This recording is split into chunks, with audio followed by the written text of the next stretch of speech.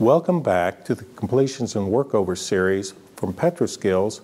In this section, we'll be talking about unconventional wells as part of our specialized advanced completion technology section. Let's get into it. Let's talk about the shale reservoir characteristics first. These, the lateral extent of these deposits are massive oftentimes covering hundreds or several hundreds of square miles. So they're on a basin scale rather than a, a much smaller scale like we have in conventional reservoirs. Many of these are overpressured, but not always. Water in our shales is not gravity segregated like it is in conventional reservoirs. Okay, we, we have water entrained, but it's not uh, we don't have down dip water in these like we do in conventionals. Very large reserves associated with these, these wells, very large oil in place and gas in place numbers associated with them as well.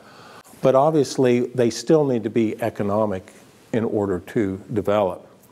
The thickness varies considerably, sometimes less than 30 feet, sometimes several hundred feet thick. The permeability can be down in the nanodarcy range, obviously very tight rock, and can, uh, but we also see sections that sometimes have uh, in the tenths of millidarcies. Fractures, we initially thought natural fractures were essential to the, the commerciality of the unconventionals, but we know that's not the case now.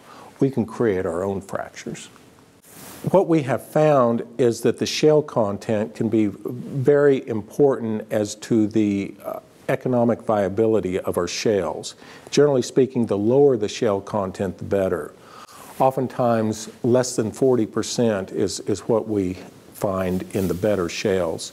Some, uh, sometimes up to 50%, but generally speaking, less than 40. Uh, much different type uh, permeability than we see in conventional reservoirs. This rock is, is fairly brittle, is, and, and the more frackable it is, the better reserves we, we see in our wells. So the higher the sand content, generally speaking, the better type reservoir it makes. Compared to conventional reservoirs, these are much more homogeneous. Okay, we don't have laminations of throughout like we do in, in most sandstones.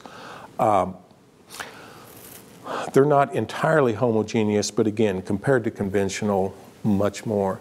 We do, we have both prop fractures and unprop fractures that are created during our fracking process. And of course, we'd like to get as many of those fractures propped as we can, but we've actually found that the unprop fractures also aid to the deliverability of the well so that they don't absolutely have to be. But if they're propped, the conductivity uh, between the, the prop fracture and the unpropped or in the shale is extremely high, which of course is what you want. This slide here is a triangle diagram showing the, the, the mineralogical distribution of, of quartz, carbonates, and shales in, in rock. And what we have found, again, here's the 50% shale. So it, it, in order to be economical, it has to be south of that 50% line. And we find uh, that the uh, Barnett shale falls over here more on the quartz section of the distribution triangle. And the Eagle Ford has a, a more of a carbonate component to it. But we, so we can find them on both sides, either more quartz or more carbonate, but uh, definitely the lower the shale content, the better. The production rates from these, uh, even though it's very low permeability, the production rates can be quite high. But because it is such low perm, we have to frack these, and we, we frack them, uh, as I like to say, we frack the snot out of them typically 10 to 40 fracs per lateral. And if the, the laterals are typically 3,000 to 10,000 foot long, the frac half lengths vary significantly, but generally they're in the hundreds of feet. We can see initial production rates, 20 million a day for, for the gas wells is not uncommon at all and, and substantially higher than that as well. After fracking is critical. One, we have to get the, the wellbore clean and uh, get all the, the frac plugs and the, the balls and, and uh, the produced sand, get that out of there. But also, we have found that managing the flow back is critical to the ultimate recovery in these.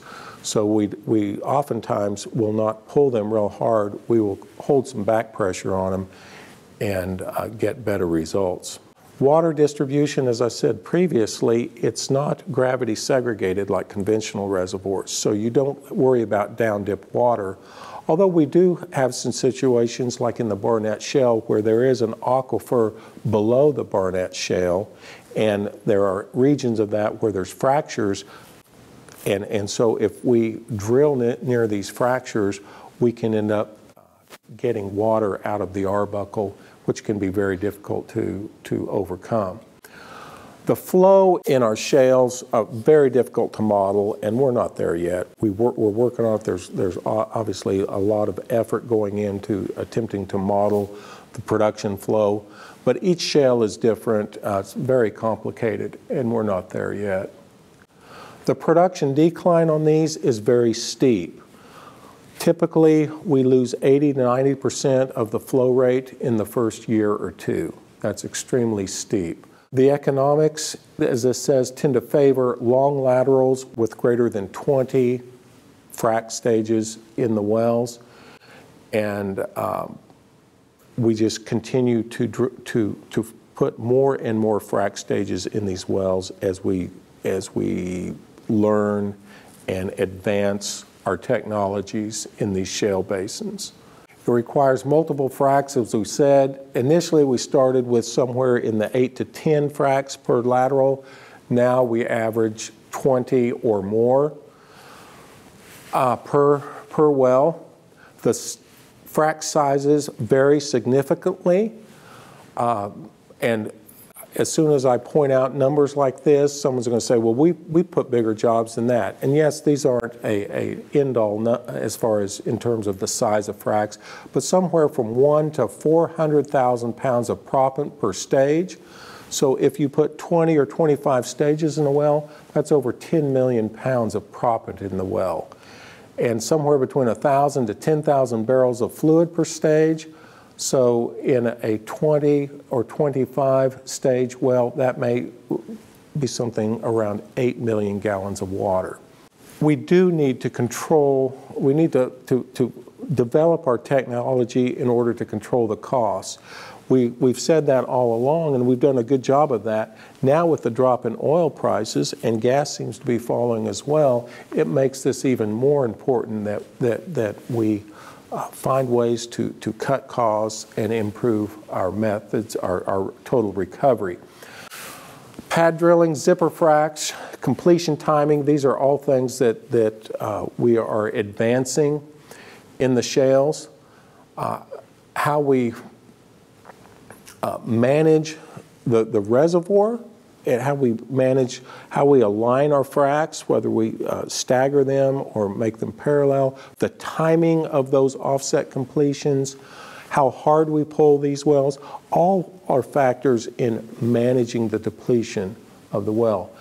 How we do our interventions, uh, that, that varies. And uh, of course, these wells come on initially flowing quite high rates, but uh, we, we uh, quickly go to artificial lift on these wells, and so they do require interventions. And we're finding that, particularly in the older wells, that we're refracking many of them and uh, increasing their deliverability and increasing their reserves, and have seen, seen some encouraging results in that. But there's uh, a lot yet to be learned on refracking our wells. Okay, these things drain a pretty large area. Again, we, we're, we're drilling four and 5,000 foot laterals on a regular basis, in some areas 10,000 feet, and then fracking out away from that. So we're, we are draining some pretty large areas. On the surface, we need a pretty big location to pull off these frac jobs. Well integrity, we have well integrity issues. Uh, in some areas, we, we're, we have casing failure problems when we frac our wells and uh, still have some to learn there. Fracking is the key to the success of these, this, these shale plays. They wouldn't be successful if we hadn't learned how to drill a series of fracs along the lateral. What size tubulars do we run in the well? Typically somewhere between two and three, two and three eighths and three and a half inch. Probably more two and seven eighths and three and a half than two and three eighths. Casing sizes four and a half to seven inch. Most companies that, that I run across are cementing their liners in the hole, but some still use uh, the external casing packers and the Packers Plus type uh, style. Most of these wells are drilled fairly horizontal, and once uh, we set the azimuth, we're, we're of course trying to drill perpendicular to the minimum horizontal strength of the reservoir, and we, we hold that direction in a pretty straight shot. Okay, this slide is entitled Impact of Cost Control. As it says, the drilling and completion costs for these wells vary from, this says a million to $20 million. There aren't many wells drilled in the, the shales for a million dollars, but several million dollars uh, for these wells. And it's, so we have to minimize our rig time in order to make our completion as efficiently as possible. If we're going to do that, then we push as much of the intervention to the wireline as we can. And so we deploy wireline, we're able to pump them down hole to do our perforating, set our plugs, and all that, save a great deal of money over coiled tubing or conventional workover rig. All right, so when we look at the frac design for these horizontal wells, it's significantly different than for conventional frac jobs, conventional wells. It's extremely low permeability and so that low permeability means that there's not near as much leak off in these reservoirs as in more conventional reservoirs. So because there's less leak off, we don't need as viscous of fluids to carry our proppant, nor because of the tightness of the rock and the low perm, we don't need as high a concentration of proppant in the fractures as well.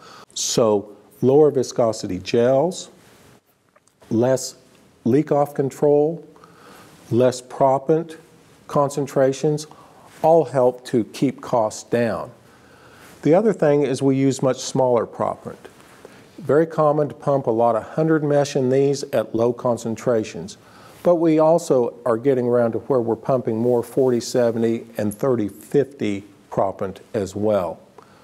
Slick water fluids are still used, but we're also, in some areas, pumping linear gels and crosslink gels too. If we run both linear and crosslink, we tend to call that a hybrid fluid. fluid. These fractors, fracs are pumped at extremely high rates, somewhere, most of them at 70 to 100 barrels per minute. In order to frac these wells, obviously we have to perforate them first before we can frac. And the challenge, one of the big challenges, is getting that first perforation done in the toe. Initially, we used to use coil tubing to get out there and make that first perforation, but we have figured out uh, with, with uh, R&D, they have come up with new ways to do it, much cheaper and much simpler. And these toe valves, we run these toe valves in our string that pump open. We pump those, that open with pressure. It creates communication with the reservoir, at that point we can pump down our perforating guns.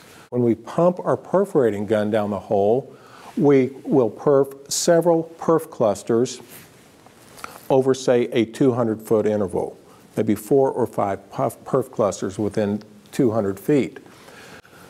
Then we'll frac those together.